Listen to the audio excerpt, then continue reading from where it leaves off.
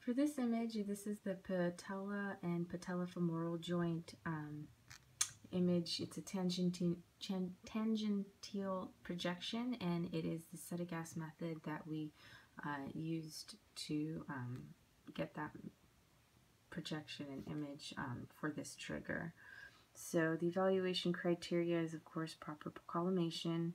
We're going to need uh, the full patella or the patella and profile, um, and then the femoral condyles and the intercondylar uh, sulcus, uh, which we have, and then an open patellofemoral articulation, um, which is definitely obvious there. And then um, soft tissue and bony tubercular um, detail needs to be present. Um, for this, the central ray would be perpendicular to the joint space between the patella um, and the femoral condyles when the joint is perpendicular.